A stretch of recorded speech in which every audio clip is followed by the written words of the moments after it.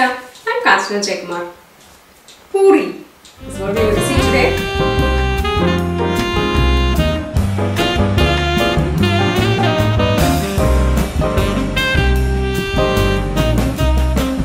The way my hand goes, it's like puri means the swelled chapati.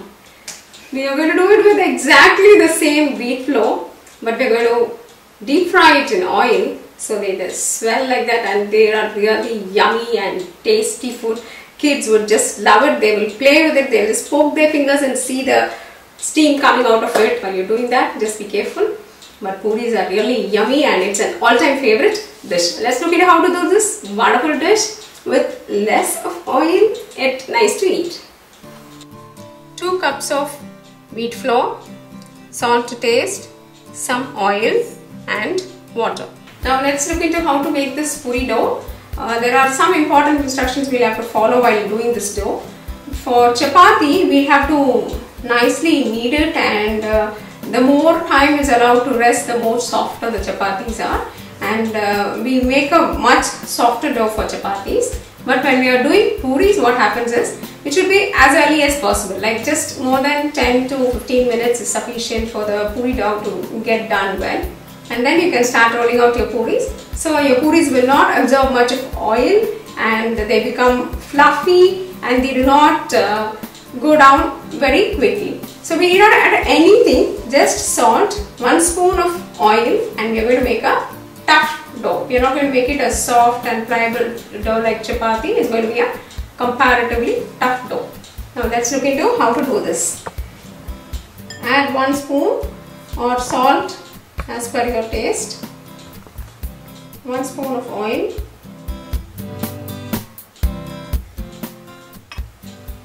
Now while starting to add the water, be careful. Add it slowly, little by little.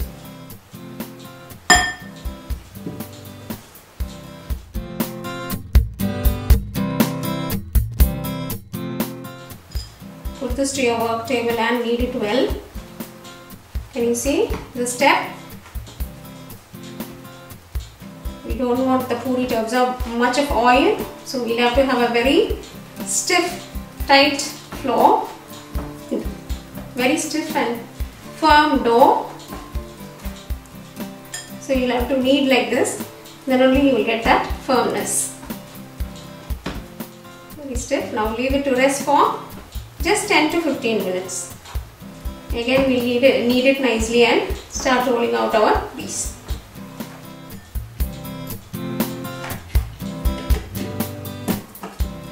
Now look at this after 10 minutes. Just give it some mild press and knead it to a nice dough.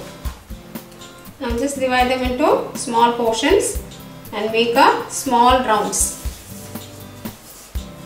Give some press with your center palm and then make it into a small round like this. First take a small ball, put it in between your palms, press it like this and you get a small round like this. We are going to make these small flat rounders to the dry floor and then make the puri, roll out the puris because if you want a round puri then you'll have to make a small ball press it in between your palm and then again press it so that you get the round shape. The round shape will be maintained. Now one more thing is because it is little firm and dry too much of flour will not stick to your uh, puri dough. And it will be easy to remove them and you can put them on the oil. And you can also see that they don't change the color of your oil too thin or too thick.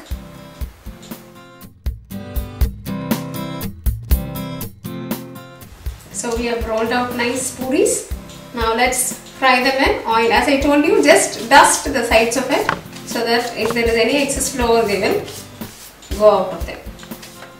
Now heat some oil in a pan. Well, for this puri, I would like to tell one more uh, important point and issue. The oil should be very hot and then only the puris will puff up. So see to that your oil is hot before dropping the puri inside. Just drop a small piece and see if it is coming up immediately. It's ready.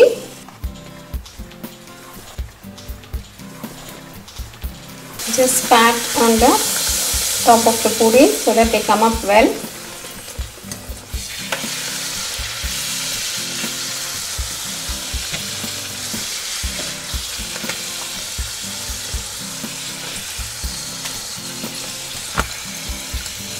Look our puris are ready. Again one small instruction. Before dropping the other puri, just give 1 or 2 seconds of break for the oil to recover its complete heat.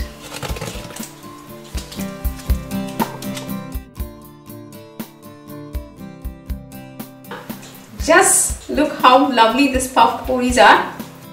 Look how crispy. Can you see the steam escaping out of the puri? So dear friends, hope you enjoyed the session of making these lovely puris. They are very crispy at the same time soft. They've not absorbed much of oil. Follow the tips very carefully. Make a stiff and a firm dough. We need not add anything, just wheat flour and then rest it for 15 to 20 minutes and start doing your puris immediately. Watch carefully about the oil, let it be very hot and give 1 or 2 seconds gap between puri to puri so that they rise up nicely. After putting the puris in the oil, just slightly press on the top with your uh, ladles so that they puff up quickly and evenly. Dear friends,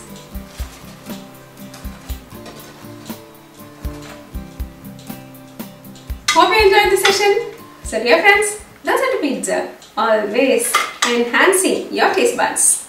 If you like this video, press like, subscribe to Dosa to Pizza and for your printable recipes, visit dosatopizza.com. Thank you and bye bye.